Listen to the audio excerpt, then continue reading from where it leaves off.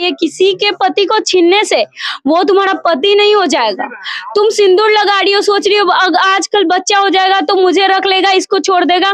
क्या बच्चा ए, एक प्यार को निभाने के लिए एक बच्चा मुद्दा होना चाहिए? एक पति पत्नी के रिश्ते को निभाने के लिए एक बच्चा होना चाहिए? अगर पति पत्नी है अगर पति पत्नी है, रिश्ता है तो वो एक प्यार से रिश्ता को निभाया जाता है। मुझे सब बोलता है, अगर तुम्हारा बच्चा रहता ना तो तुम्हारा पति कभी छोड़ता नहीं। ऐसी बहुत सी महिलाएँ हैं, कोर्ट में दौड़ रही हैं, जिनके बच्चे भी हैं, तब भी उनको इंसाफ नहीं मिल रहा है। क्यों ऐसा हो रहा है?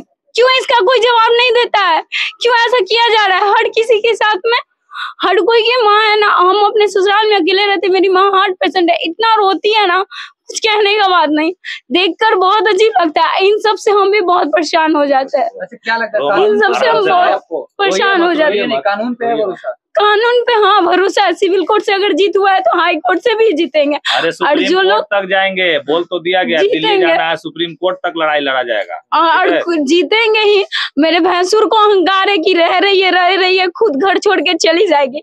वो लोगों के सामने बोलते है ना कि देखना ना कितना दिन ही ढोएगी खुद से कितना करेगी घर छोड़कर भाग जाएगी। एक अकेली अगर उसका पति छोड़ दिया ना तो लोग कलंक उठाता है कि नहीं लड़की में घोट होगा ना इसी कारण छोड़ दिया। लेकिन देख रहे हैं ये जो आँसू जो निकल रहा है जो दर्द आप लोगों को दिख रहा है सोच रहे हैं कि लड़की कितना प्रताड़ित हो गई है? ये अगर लेकिन सही लड़की को ना इस धरती पे जीना बहुत मुश्किल है। अगर एक लड़की सही है सही से रिश्ता निभाना चाहती है तो उसको जिया जीने नहीं दिया जाता। अरे अकेले रह रही है ना कोई बात होगा?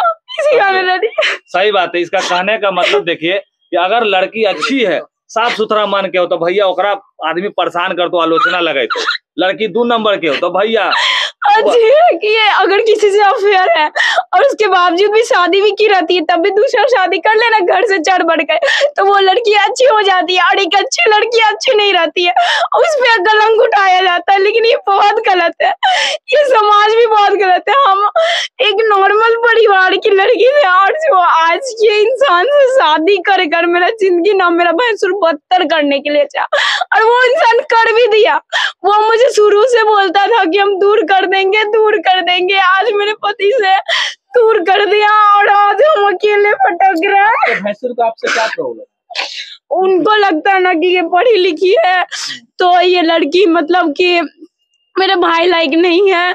ये अच्छी नहीं है। इसका बोली करवा है। सबको बोलते नहीं, इसका बोली ना करवा है। इसी कारण इसको छोड़ दिया। मेरा बोली करवा है भाई। कहे कि हम उठे हैं ना, हम भी दूसरा शादी कर लेते इन लोग पे केस मुकदमा नहीं करते तो हम अच्छे होते इसी कारण लोग बोलते सबको बोलता है ना कि इसका बोली करवा है। इसी कारण इसको ना इसका हस्बैंड छोड़ दिया। हम बता, कोई लड़की का अगर बोली करवा रहेगा तो उसका पति छोड़ देगा। उस इंसान को शर्म नहीं आता है। एक ठोप नहीं उसकी बहन मेरे घर में रहती है? मेरा भाई रखा हुआ है और मुझे रोने के लिए अकेले छोड़ दिया है। हर वक्त, हर समय माम हम अंदर से घुटन लगता है। लगता है कब क्या कर ले, मुझे कुछ समझ में नहीं आता हम सिर्फ़ ज़िंदा है तो अपने माँ बाप के लिए मम्मी पापा के कारण ज़िंदा नहीं तो मुझे मरने का लगता है कि ये लोग मुझे मार भी देंगे।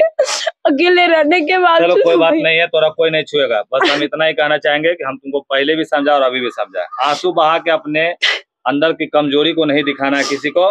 आँसू को छिपा के इसको एगो आग का दम भवारा बना के उन लोगों के ऊपर ब्लास्ट कर देना। रोना ने आँसू पोछो बढ़िया से पहले। आँसू पोछ। तो लीजिए भैया आप इसको समाप्त कीजिए। आँसू पोछ।